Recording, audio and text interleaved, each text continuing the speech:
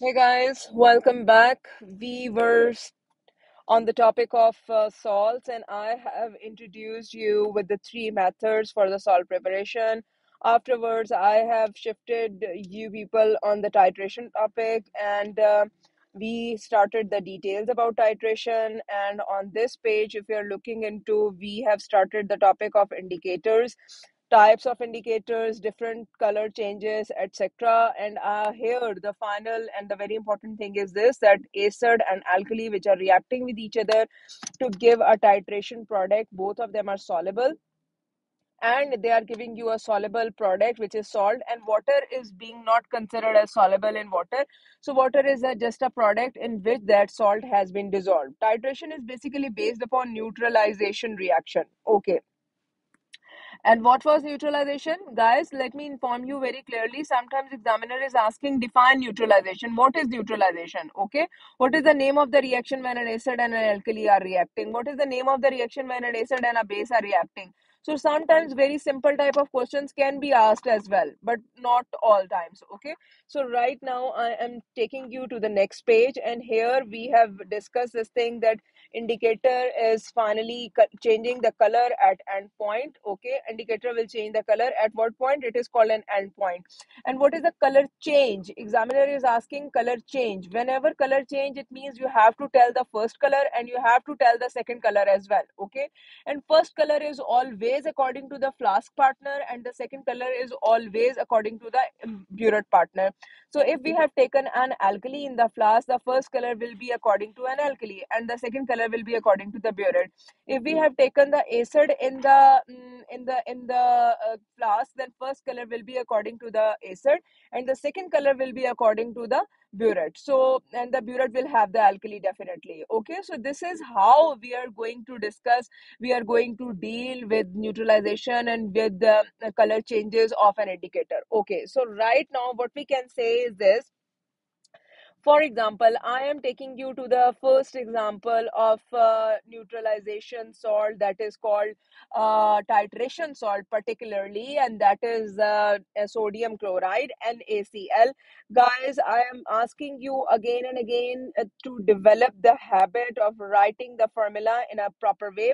Now, it has a target to prepare NaCl. Okay, and along with that, definitely water will be produced always. Okay, so in all titration reactions, water will be produced. Okay, now guys from this formula you have to judge this thing that what will be the acid what is the acid which is the source which can be a source of cl you already know this thing that there is an acid which is called hcl and that will be the source for NaCl okay and that will be the source of basically Cl part of NaCl okay so we can say this is the source for uh, this part only okay this only this okay now we have to have a source of Na as well. What is the source of Na?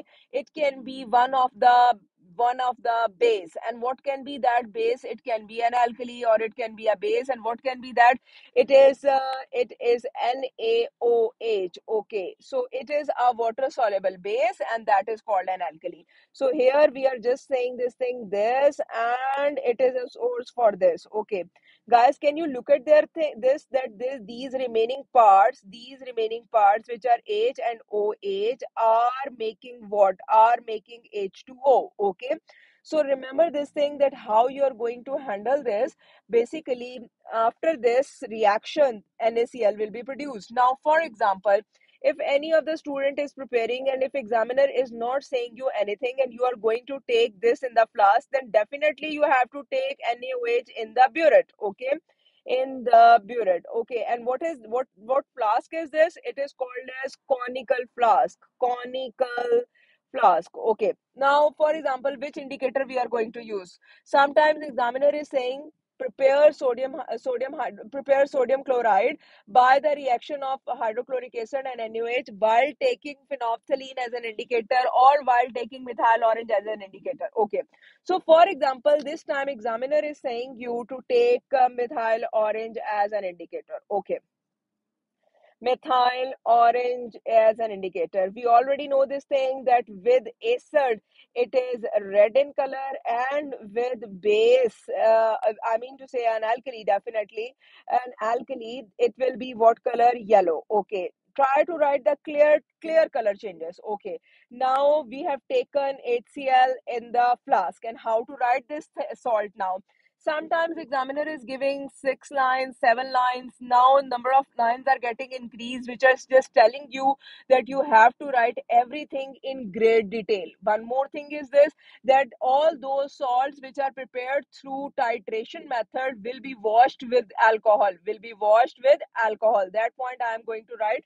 Uh, titration salts will be washed washed through what alcohol okay?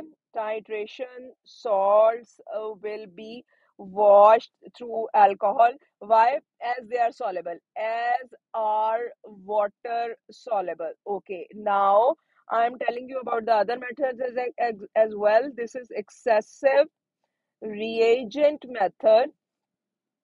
Excessive reagent method and its salt will be washed with alcohol as well. And what is the reason? As it is as are soluble as are water soluble. But what about the third method? The third method is ionic precipitation. Ionic precipitation which is particularly for insoluble salts no so I have discussed this thing already with you that these are for insoluble salt. This method is for insoluble salt. So this salt which is prepared from this method will be washed with water as are insoluble okay? So first two methods salts will be the products will be washed with alcohol. What is the purpose of washing? To have neat and clean product to have neat and clean crystals okay? So this is the purpose of washing. Examiner is sometimes asking why it is important to wash a salt with alcohol why it is important to wash a salt okay?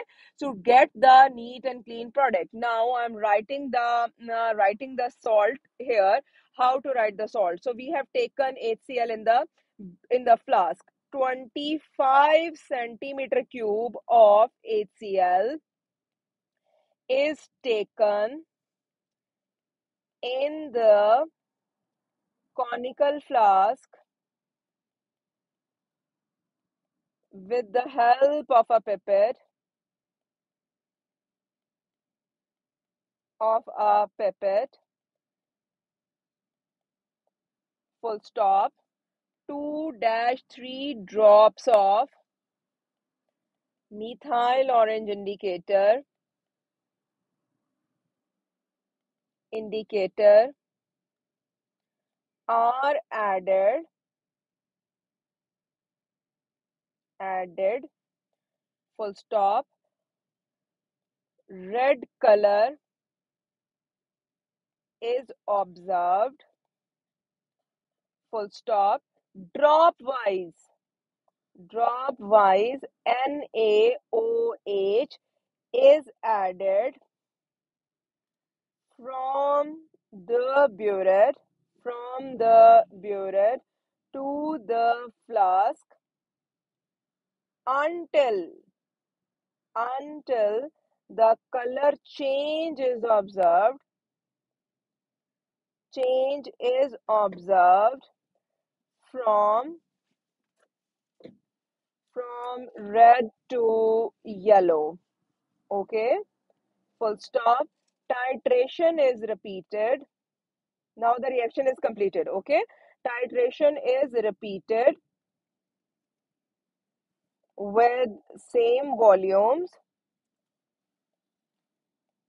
volumes but without indicator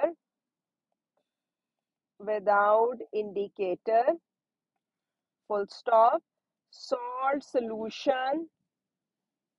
Basically why without indicator? To avoid the contamination of indicator okay? Salt solution is shifted from flask to china dish. Flask to china dish full stop or comma heated till saturation heated till saturation full stop. Crystals are obtained through filtration. Crystals are obtained through filtration filtration full stop or comma washed with alcohol washed with alcohol comma dried in the layers of dried in the layers of filter paper okay? So this is the way dried in the layers of filter paper okay? So this is the way to prepare the salts of uh, uh, titration method okay? So I am going to explain this method to you by practicing more salts of titration method. Two or three more salts we are going to prepare through titration method. Hence, in this way, the things can become easier for you. Thank you very much. Take care of yourself. See you in the next class.